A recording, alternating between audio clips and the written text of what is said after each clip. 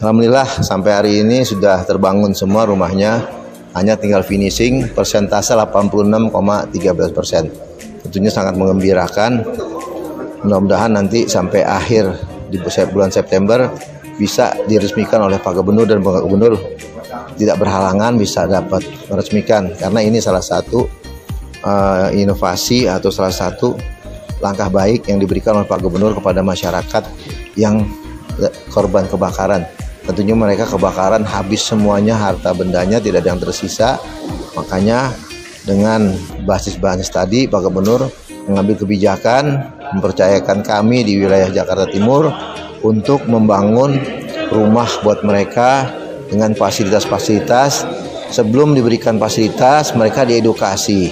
Edukasi merubah mindsetnya bagaimana ketika masuk rumah yang baru. Diharapkan mereka akan lebih baik ekonominya perilakunya termasuk lingkungannya yang kita sudah buat karena di situ kita membangun dengan kolaborasi dengan UKPD terkait jadi konsultan hanya membangun rumahnya ya tapi sarana prasarananya kita kolaborasi baik dari pihak swasta ataupun dengan UKPD yang ada di Jakarta Timur.